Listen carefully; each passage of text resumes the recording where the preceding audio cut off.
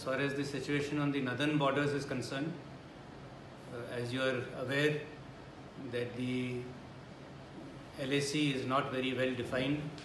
There are different perceptions on where the LAC runs, and accordingly, both sides patrol up to their accepted claim lines. And therefore, when patrols reach at the same place at the same time, then such face offs do occur. Uh, they have occurred in the past, and there is nothing new in what has happened in the last week or 10 days.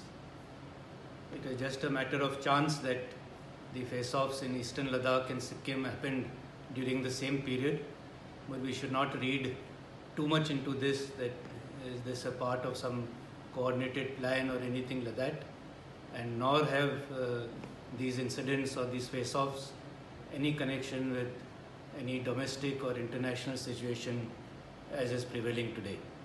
These have been happening, as I said, in the past, and it has happened again now. But uh, we will deal with it as per the protocols which have been laid down between the two countries